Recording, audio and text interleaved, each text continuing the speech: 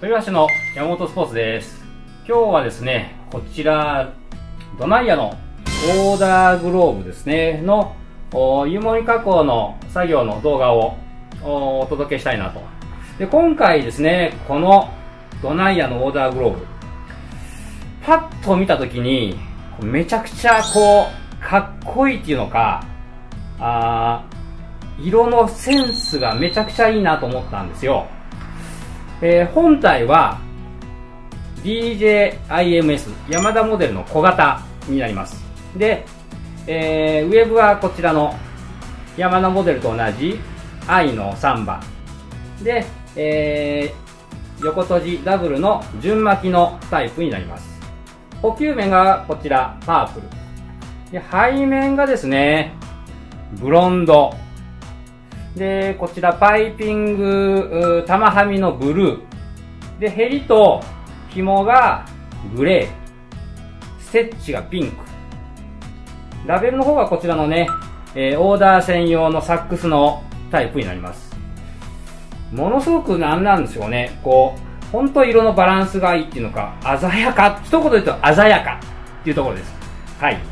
まあ、こういうちょっとグローブがありますのでね、えー早速お湯につけていきたいなと思います。それではどうぞ。はい、じゃあお湯つけます。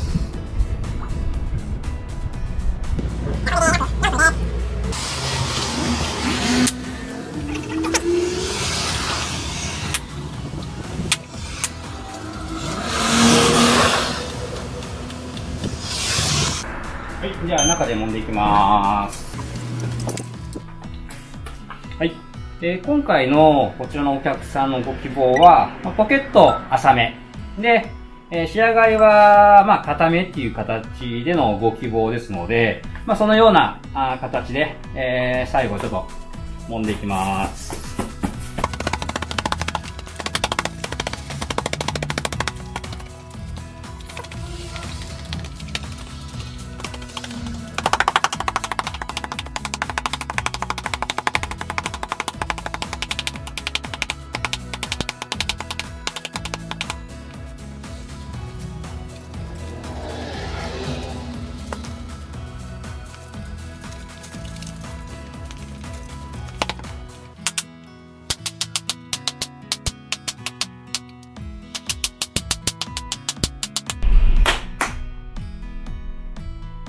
はい。じゃあこちらでね、えー、湯もみ作業の方は1回、これで終了ですので、で、えーしっかり乾かして、で、また最後、仕上げっていう作業をしていきますんでね。はい。